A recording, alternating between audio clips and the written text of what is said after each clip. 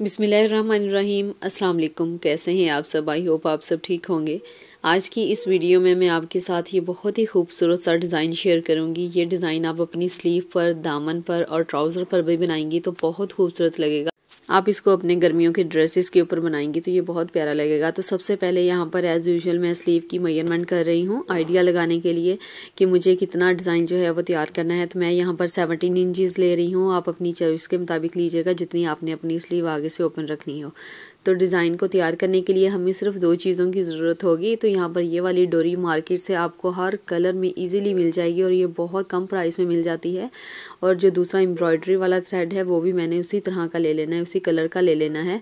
और यहाँ पर एक मैं टेप यूज़ कर रही हूँ। इस तरह की टेप आपको किसी भी स्टेशनरी शॉप से, जहाँ से बुक्स वगैरह मिल जाती हैं तो वहाँ से आपको ईज़िली मिल जाएगी। तो आपने इस तरह से ले लेनी है और इसको मैं ये देखें, ऐसे ओपन करके उस, उसी के ऊपर साइड से ऐसे फोल्ड कर लूँगी कि जिसके ऊपर गम होगी, वो ऊपर वाली साइड पर आ जाए। अब यहाँ पर मेयरमेंट कर रहे हैं कि हमने डिज़ाइन जो है वो कितना तैयार करना है तो मैं यहाँ पर वन पॉइंट फाइव इंचज़ का डिज़ाइन जो है वो तैयार करूँगी। अब ये देखें, जो मैंने यहाँ पर मार्किंग की है, मैंने उसी के अंदर अंदर रह कर डिज़ाइन को तैयार करना है। तो सबसे पहले सेंटर से स्टार्ट लिया है। हाफ़ हाफ़ करके तो पहले सेंटर से स्टार्ट लेकर हमने इस तरीके से ये देखें, इसकी शेप जो है वो देते जाना है। पहले सबसे बड़े, फिर उससे छोटा, फिर उससे छोटा, और अब ये देखें, बिल्कुल उसी तरीके से हमने दूसरी साइड पर भी बिल्कुल वैसे ही डिज़ाइन जो है वो तैयार कर लेना है।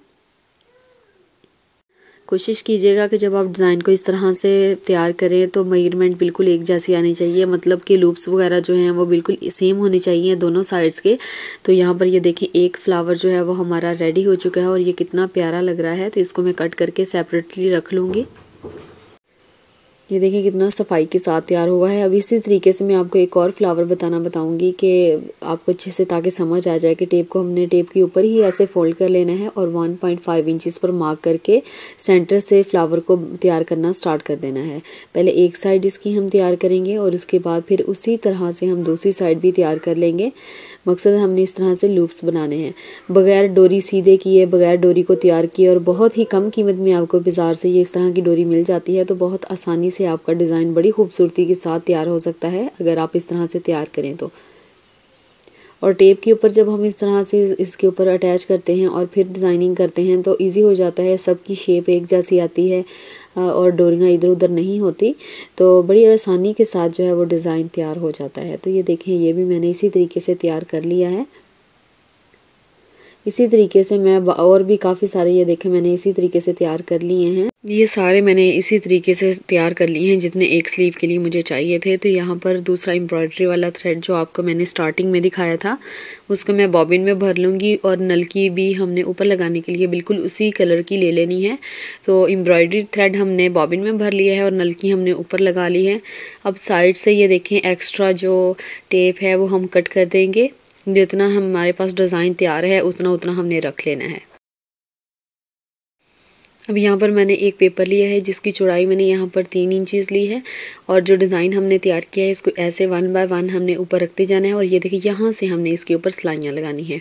हमने तीन दफ़ा इस फ्लावर के ऊपर सिलाई लगानी है ताकि ये जो डोरियाँ हमने तैयार की हैं, अटैच की हैं टेप के ऊपर तो वो अच्छे से अपनी जगह पर सेट हो जाएँ।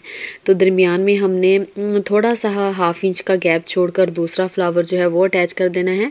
जब दूसरा फ्लावर अटैच करते हैं तो थोड़ा सा ये होता है कि टेप लगी होती है तो वो टेप जो मशीन का पाँव है, उसके साथ हल्की सी चिपकने की ट्राई करती है। तो उस वजह से अगला फ्लावर का जो लूप है, वो थोड़ा सा आगे की तरफ़ चला जाता है तो बताने का मकसद आपको ये है कि आपने मशीन का पाँव ऊपर उठा लेना है, ताकि आपको भी इस इस तरह डिस्टर्बेंस ना हो तो आपका भी फ्लावर जो है वो अच्छे से सेट हो जाए। तो जब आप दूसरे फ्लावर पर मशीन की मदद से सिलाई लगाने लगें तो मशीन का पाँव थोड़ा सा ऊपर उठा लेंगी तो अच्छे से लग जाएगी।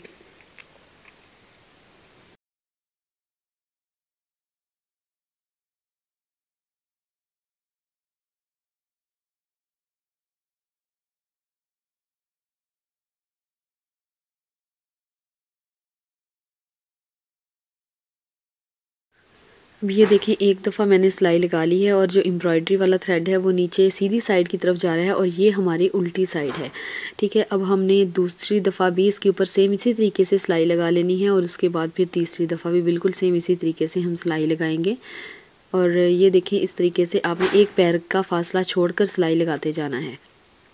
ये बड़ा अच्छे से सेट हो जाता है। कभी भी डोरियाँ इसकी नहीं निकलेंगी या इधर उधर नहीं होंगी और डिज़ाइन जब बन, बनकर ये तैयार हो जाएगा तो बड़ा ही खूबसूरत लगेगा। इसको आप अपने स्लीव पर, दामन पर और ट्राउज़र पर बना सकती हैं और चाहें तो आप इसको दुपट्टे के पलों पर भी बना सकती हैं। दुपट्टे के पलों पर बना हुआ ये डिज़ाइन भी बहुत खूबसूरत लगेगा। अगर आप मेरे चैनल पर नए हैं और आपने अभी तक मेरे चैनल को सब्सक्राइब नहीं किया तो प्लीज़ मेरे चैनल को सब्सक्राइब कर दें और वीडियो को लाइक कर दें और मुझे कमेंट करके लाजमी बताइएगा कि आपको आज की डिज़ाइनिंग कैसी लगी। अब जो डिज़ाइन हमने तैयार किया है, उसके ऊपर हमने इस तरह से पत्ती सी लगानी है और इस तरह से नोक सा भी एक डिज़ाइन तैयार करके लगाना है। तो यहाँ पर ये कागज़ के ऊपर पहले मैंने इसकी शेप कट करके रखी हुई है और इसको बाद में हम बुकरम के पीस के ऊपर कट करेंगे। तो सबसे पहले मैं आपको मयरमेंट बता दूँ कि जो पत्ती हमने तैयार की है वो एक इंच की है और जो हमने इस तरह से नोक सी तैयार की है, ये दो सेंटीमीटर इसकी मयरमेंट है। अब इनको मैं एक बचा हुआ पीस था मेरे पास बुकरम का तो उसके ऊपर रख कर मैं इसकी जो बाकी सारे पीसीज हैं वो कट कर लूँगी। आप चाहें तो पेंसिल की मदद से भी इस तरह से पहले निशान लगा कर कट कर सकती हैं, या फिर जो कागज़ का पीस हमने तैयार किया था, उसको बाकी पीसीस के ऊपर रख कर भी इसकी शेप जो है वो कट कर सकती हैं। बाकी सारे पीसेस भी मैं इसी तरीके से कट कर लूँगी और जो फैब्रिक था उसके ऊपर रख कर इसको आयरन कर लूँगी। और आयरन करने के बाद ये देखिए इस तरह से हमने सेपरेट कर लेना है। हल्का हल्का सा थोड़ा थोड़ा सा फैब्रिक हमने छोड़ना है फोल्डिंग के लिए और बाकी सारा कट कर देना है। तो सारे पीसेस मैं इसी तरीके से कट कर लूँगी।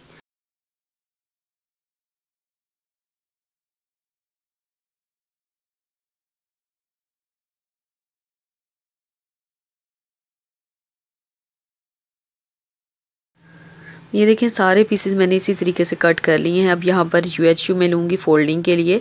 तो हल्की हल्की सी यू एच यू लगाते जाना है और उसकी साइड्स को इस तरह से हमने फ़ोल्ड करते जाना है। दोनों साइड्स पर इस तरह से यू एच यू लगाएँगे और ऐसे फ़ोल्ड करके जब ऊपर से हम आयरन करेंगे तो ये बड़ा अच्छा सा अपने जगह पर सेट हो जाता है और जो नोक सी फैब्रिक की एक्स्ट्रा बाहर निकल आती है, उसको भी हम इस तरह कट कर देंगे। और ये एक नोक वाला जो पीस है, उसको भी हमने बिल्कुल इसी तरीके से फोल्ड कर लेना है। और बाकी तमाम पीसीस हमने इसी तरीके से तैयार कर लेने हैं।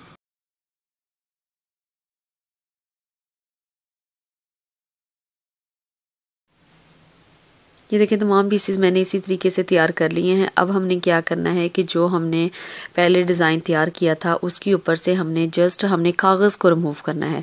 कागज़ को क्योंकि रिमूव करेंगे तो ही हमें पता चलेगा कि हमारी डिज़ाइनिंग जो है वो सीधे वाली साइड के ऊपर, क्योंकि हमने जो डिज़ाइन तैयार किया है, उसको लगाना है। ये देखें इस तरह से। और टेप को अभी हमने रिमूव नहीं करना, क्योंकि उससे थोड़ी सी ग्रिप है डिज़ाइनिंग में। तो सबसे पहले हम जो अभी हमने पत्तियाँ तैयार की हैं, उसको पहले यू की मदद से हल्का हल्का सा इस तरह से लगा देंगे और फिर ऊपर से हमने स्टिच कर लेना है। जब हम स्टिच कर लेंगे, उसके बाद फिर हमने जो टेप है, उसको रिमूव करना है। तो इस तरीके से हमने सारे जो पीसीस हैं, वो यू हल्की सी यू एच यू लगा कर सेट कर लिए हैं। ये देखें, ये हमारी सीधी साइड है। जब हम यू एच यू उतारेंगे, तभी हमारा डिज़ाइन जो है, वो अच्छे से पता चलेगा। तो अब हमने किनारे किनारे से डिज़ाइनिंग के ऊपर से सिलाइयाँ लगा लेनी है।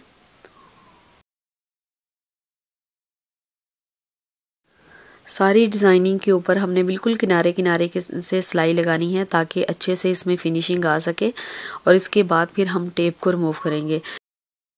जो मेरे चैनल पर न्यू है, उनसे रिक्वेस्ट है कि अगर आपने अभी तक मेरे चैनल का विज़िट नहीं किया तो प्लीज़ मेरे चैनल का विज़िट करें। आपको बहुत अच्छी अच्छी सी डिज़ाइनिंग मिल जाएगी। सिंपल सीविंग मशीन के साथ हम किस तरह से खूबसूरत सी एम्ब्रॉयडरी कर सकते हैं, इस तरह की तमाम वीडियोस आपको मेरे चैनल पर मिल जाएँगी। अब जो डिज़ाइन हमने तैयार किया है, उसको हम स्लीव के साथ अटैच करेंगे। स्लीव को हमने सीधा रखा है और जो डिज़ाइन हमने तैयार किया है, उसको हमने उल्टा रखा है।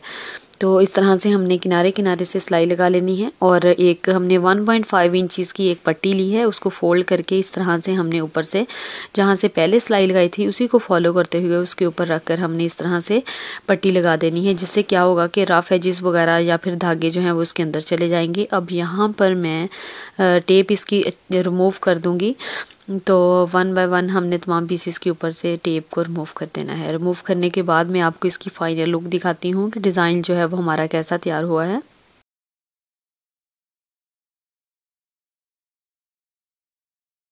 ये देखें, डिज़ाइन हमारा यहाँ पर कंप्लीट हो चुका है और कितना खूबसूरती और सफ़ाई के साथ हमारा डिज़ाइन तैयार हुआ है। ऐसे लग रहा है जैसे हमने कोई लेस वगैरह अटैच की हो। कोई भी नहीं बता सकता कि हमने डिज़ाइन जो है ये ख़ुद तैयार की है और नीचे से हमने इसकी तुरपाई कर लेनी है। आप चाहें तुरपाई कर लें, चाहे तो आप वहाँ पर सिलाइयाँ भी लगा सकती हैं।